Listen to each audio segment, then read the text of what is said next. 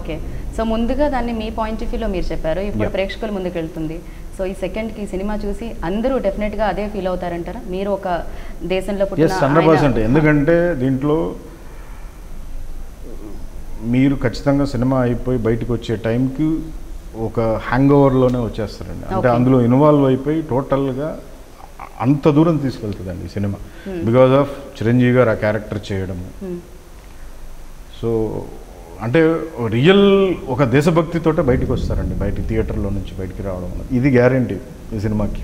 Right. So ఇంత పెద్ద cinema చేశారు ఒక వీరుడి గాథ చెప్తున్నారు దీనికి మీరు అదృష్టవంతులు అనే దానికంటే ఒక మాట చెప్తాను సార్ నేను డెఫినెట్గా అంటే అందరూ ప్రతి ఒక్కరూ పాఠ్య పుస్తకాల్లో నేర్చుకోవాల్సిన మనిషి గురించి తెలుగు చలనచిత్ర సీమ పుస్తకాల్లో నేర్చుకుంటాం. ఇప్పుడు థియేటర్లో చూడాల్సి వస్తుంది. సో దీనికి కారణాలు ఏమంటారు అసలు? అంటే ఒక రకంగా అణిచివేత కాదు. బ్రిటిష్ వాళ్ళు అణిచివేస్తే పోరాడిన వీరుడు గురించి మనమే మన చరిత్రలో అణిచివేశామా? లేకపోతే మన మనసుల్లోంచి ఆయన అంటే గుర్తుపెట్టుకోలేదు ఎవరు అసలు సైరా అంటే ఉయ్యాలవాడ నరసింహారెడ్డి అంటే సెర్చ్ చేయాల్సి వచ్చింది. నాకు తెలీదు. అంటే నిజంగా మరుగున పడిపోయాడండి హా, నిజంగా వీరుడు ఉన్నాడండి. ఇట్స్ ఎ ట్రూ అది. ఇన్సిడెంట్స్తో సహా గెజెట్స్తో సహా ఉన్నాయి. రైట్ సో దాన్ని రియల్గా పాపం ఆ- ఏరియాలో ఉన్న వాళ్ళు చాలామంది ట్రై చేశారు. తనను బయటికి తీసుకురావడం చాలా సంవత్సరాల నుంచి వాళ్ళు పోరాడారు. ఫైనల్గా అది ఇప్పుడు బయటకు వచ్చిందండి సో అది చిరంజీవి గారి రూపంలో సినిమా తీయడం అనేది ఇంకా రీచ్ ఎక్కువ అయిపోయిందండి సో ఇప్పుడు ఏంటంటే అక్కడ ఒక సిక్స్త్ క్లాస్లో ఒక బుక్ కూడా ఇప్పుడు ప్రజెంట్గా ఉందండి రీసెంట్గా అంటే ఇప్పుడు యాడ్ చేశారా? ఎప్పటి నుంచో? I think two years back ఎప్పుడో త్రీ ఇయర్స్ బ్యాక్. యా రీసెంట్లీగానే యాక్సెప్ట్ చేసి. ఇచ్చేసారండి అది. ఓకే యా బట్ అక్కడ ఉన్న ప్రజలకైతే తెలుసా సార్? ఆ ఏరియాలో యా లోకల్లో ఆ ఏరియాలో రేనాడు రాయలసీమ ఉన్న వాళ్ళకి ఇతని మీద చాలా కథలు అంటే పాటలు ఉన్నాయి బుర్ర కథలు ఉన్నాయి. అతను అతని గురించి చాలా గొప్పగా చెప్తారండి ఆ ఏరియా.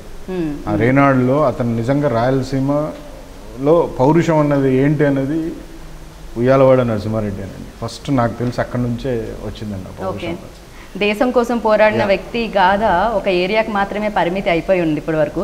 బట్ ఇప్పుడు చిరంజీవి గారి దయ వల్ల పరచూరి బ్రదర్స్ దయ వల్ల ఈ చిత్రానికి పనిచేసిన ప్రతి యూనిట్ మెంబర్ వల్ల సో ఈ చిత్రం దేశం మొత్తం మళ్ళీ ఇంకొకసారి ఆయన గురించి మాట్లాడుకుంటున్నాం. హండ్రెడ్ పర్సెంట్ ఇది ఆ క్రెడిట్ అంతా కూడా చిరంజీవి గారికి ప్లస్ బ్రదర్స్కే ఇవ్వాలండి. ఎందుకంటే వాళ్ళు రెడీ చేసుకొచ్చి చిరంజీవి గారికి ఇవ్వడం ఆయనకు నచ్చడం అది అలా మళ్ళీ వెనక్కి వెళ్ళడం మళ్ళీ ఇప్పుడు రావడం అనేది ఇట్స్ కంప్లీట్ అది వాళ్ళది.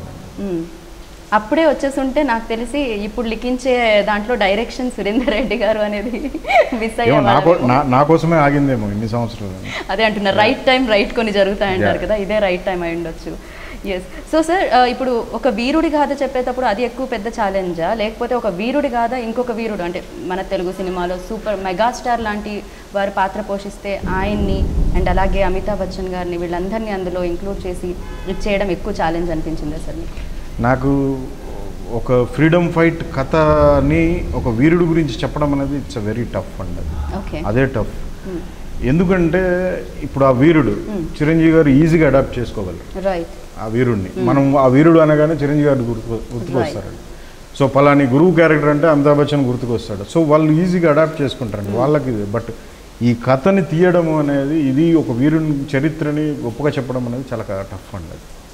Yeah. యా. నాకు తెలిసి మీరు చాలా నిద్రలేని రాత్రులు గడుపుంటారు. ఈ చిత్రం అయ్యే ఇన్ని సంవత్సరాలు ఈ జర్నీలో. అవి లెక్కలేదు స్టిల్ ఈ రోజు వరకు కూడా అదే జరుగుతుంది ఇంకా. ఇంకా అయిపోయింది? అంటే no no no we have lot of no చాలా వర్క్ ఉంది. టిల్ రిలీజ్ వరకు వర్కే ఉంటుంది మాకు. Hmm.